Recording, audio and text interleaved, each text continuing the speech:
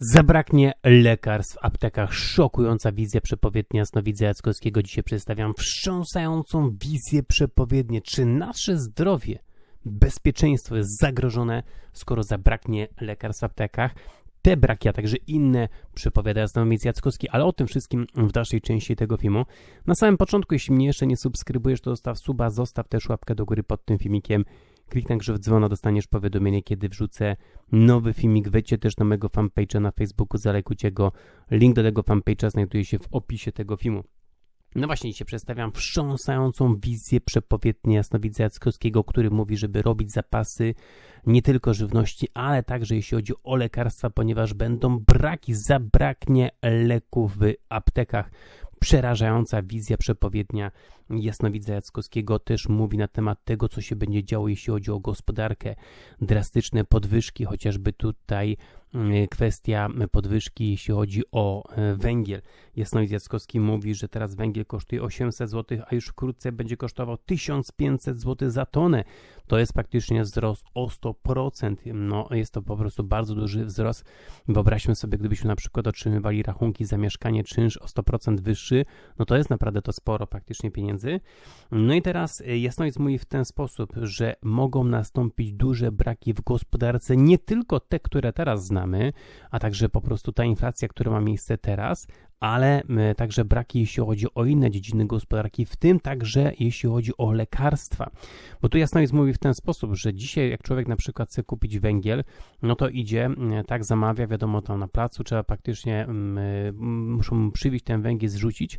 Natomiast y, to jest sytuacja, gdzie praktycznie człowiek narzeka, że jest podwyżka, ale e, jest sytuacja tego typu, że trzeba na ten węgiel bardzo często czekać, a nawet tego węgla nie ma, tak, no to już jest inna sytuacja, że ten węgiel jest wykupywany przez albo mm, firmy niemieckie, albo też przez właśnie Chińczyków, którzy skupują ten węgiel na rynku polskim.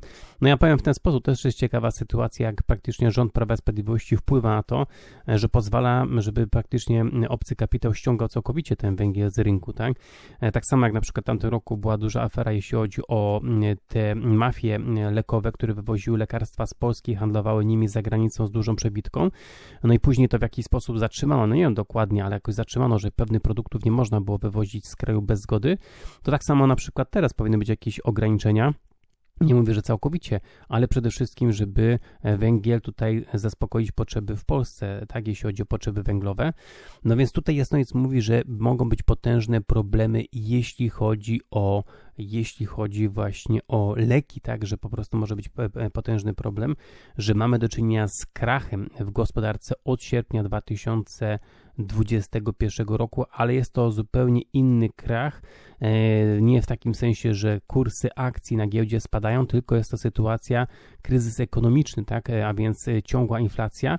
I tu Jasnowic mówi, że zobaczmy sobie, mamy do czynienia z inflacją, ale z drugiej strony akcje spółek nie spadają, e, tak, czyli tak naprawdę społeczeństwo społeczeństwa biednieją, firmy bogacą się, e, paradoksalnie państwa też się bogacą poszczególne rządy, bo wyższe ceny to wyższe wpłaty z tytułu podatku, tak? E, więc taka inflacja jest na korzyść poszczególnym e, e, rządom. No ale ta inflacja nie tylko ma w Polsce, no w Polsce ona jest najwyższa od 20 lat, ale też w innych krajach. E, natomiast tutaj jasno jest właśnie mówi w ten sposób, że może być sytuacja, że zabraknie tych lekarstw, więc warto zrobić sobie zapasy tych lekarstw. Oczywiście, mm, ja już to przedstawiałem wiele razy na moim kanale, nie zawsze jest taka możliwość, żeby zrobić lekarstwa, bo albo recepty są wypisywane na 30 dni do przodu, e, albo też tutaj tych lekarstw nie ma, tak, w w aptece, żeby, czy po prostu nawet reglamentacja na niektóre lekarstwa nie można kupić więcej niż tam jedno czy dwa opakowania, więc to nie jest takie proste, albo też kwestia bardzo przyziemna, a mianowicie brakuje pieniędzy, tak, no ktoś nie jest w stanie wykupić lekarstwa, skoro na przykład lekarstwa kosztują go miesięcznie kilkaset złotych, nie jest w stanie wykupić lekarstw na e, kilka mm, tutaj miesięcy, tak, czy na pół roku do przodu. Więc przerażająca wstrząsająca wizja przepowiednia Jasnowidza Jackowskiego na temat braku właśnie tutaj lekarstw, jeśli chodzi o gospodarkę. No to też jest ciekawa sytuacja, bo przecież e, tutaj mm, te lekarstwa, no jedna sprawa to lekarstwa, które są produkowane w Polsce, ale sporo przecież lekarstw jest produkowanych z zagranicy, przywożone są do Polski. Teraz jest też ciekawa sytuacja, bo to, co robi rząd Prawa i Sprawiedliwości, nie wiadomo, czy Polska będzie w Unii Europejskiej, czy też nie. Z jednej strony rząd Prawa i Sprawiedliwości, czy też Jarosław Kaczyński zarzeka się, że on nie wyjdzie z Unii Europejskiej, ale nie po słowach, a po czynach ich poznacie, tak? Czyny po prostu jakby przeczą temu. E, Unia Europejska co chwilę nakłada na Polskę kary finansowe, czy kopalnia w Turowie, e, czy teraz kwestia praktycznie sądu Izby, Dyscyplinarnej, Izby Dyscyplinarnej, tak? To jest około chyba milion euro dziennie kary. E, no więc może się okazać, że rząd Prawa i Sprawiedliwości będzie chciał być w Unii Europejskiej, ale się okaże, że będzie cały czas łamał te zasady, które obowiązują wewnątrz Unii Europejskiej. No ale pomijając to, to w każdym razie może też nie być negatywnie odbić się właśnie na kwestii lekarstw, tak, na dostępności pewnych leków w Polsce. E, więc tutaj też jest to nie, e, no, nie, niepewna sytuacja. Oczywiście ja w żaden sposób nie straszę, ja prze, prze, przedstawiam przepowiednie, wizje, tak, jasnowidza Jackuskiego, natomiast no, Jasnowic mówił, że on, on na przykład choruje na serce, bierze leki na rozrzedzenie krwi. E, miał to zwapnienie naczyń krwionośnych, tak?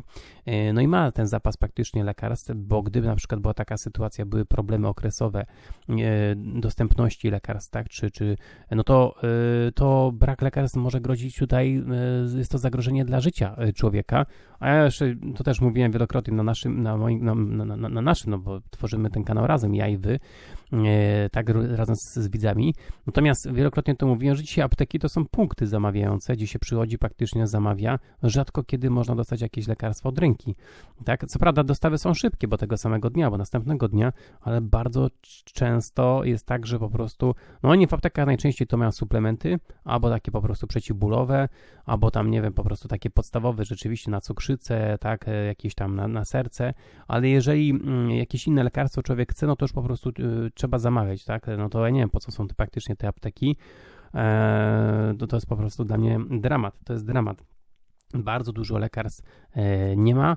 E, I teraz zobaczmy sobie, na przykład w Polsce mamy po 10 tysięcy osób zakażonych każdego dnia bardzo niebezpieczna sytuacja, tak? E, podobna sytuacja ma miejsce też w innych krajach. Oczywiście jest to skokowo, raz jest mniej, raz jest więcej. Mogą być ograniczenia, tak? Jeśli chodzi o zamykanie granic, jeśli chodzi o wymianę praktycznie tutaj ekonomiczną i rzeczywiście mogą być problemy, jeśli chodzi o, jeśli chodzi o dostępność, a też inflacja wpłynie praktycznie na te lekarstwa, tak, na te praktycznie lekarstwa, na, na, na, to, że te lekarstwa będą e, droższe, będą one praktycznie droższe. Przerażająca sprawa. Oczywiście można szukać tych tańszych odpowiedników, a nie, nie, natomiast nie zawsze można skorzystać z tych tańszych odpowiedników, albo nie ma tych tańszych odpowiedników, więc to też jest tutaj sytuacja no, nieciekawa. No i e, kwestia tego właśnie, że rząd, e, co takiego rząd Prawa i Sprawiedliwości robi, jeśli chodzi o tą inflację, jeśli chodzi na przykład o ten węgiel, który idzie do góry, prąd, który idzie do góry, tak, ceny produktów i usług. No na przykład rząd mówi na temat tego, że ma taki pomysł, dopłata bon, jeśli chodzi o prąd od przyszłego roku dla najbiedniejszych, tak? No, ja już to też analizowałem na moim kanale, nie ma sensu tego wracać. Natomiast właśnie, a co na przykład z bonami dopłatą dla ludzi o niskich dochodach, którzy korzystają z lekarstw, którzy po prostu mają problemy zdrowotne?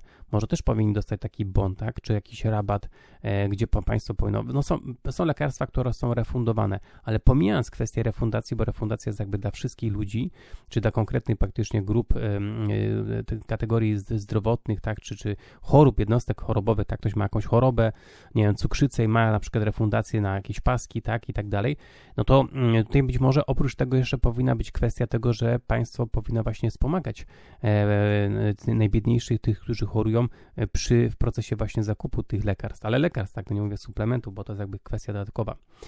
No więc tutaj przerażająca wizja przepowiednia mm, jasnowidza Jackowskiego, który przecież mówi, że świat stoi w obliczu wybuchu wojny, potężnego kryzysu ekonomicznego, który będzie mieć miejsce już wkrótce, e, że ten kryzys będzie miał miejsce.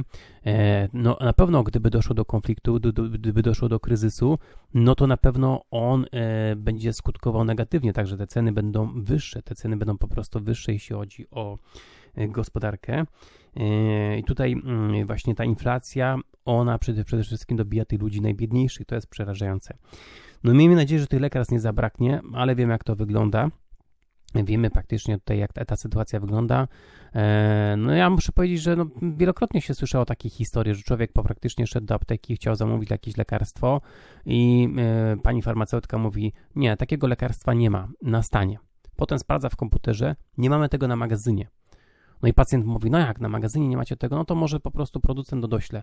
A nie, bo to lekarstwo produkowane jest w Bułgarii czy tam w Rumunii i w ogóle nam nie przysyłają z tego kraju po prostu tych lekarstw. No nie wiem, dla mnie to trochę dziwne, tak? E, jak tam wyglądają te wymiany praktycznie i tak dalej, e, ekonomiczne, współpraca i to. Natomiast, no właśnie, to wszystko na dzisiaj. Dzięki za oglądanie, dzięki za słuchanie. Jeśli mnie jeszcze nie subskrybujesz, to zostaw suba, zostaw też łapkę do góry pod tym filmikiem. Pozdrawiam, trzymajcie się, cześć.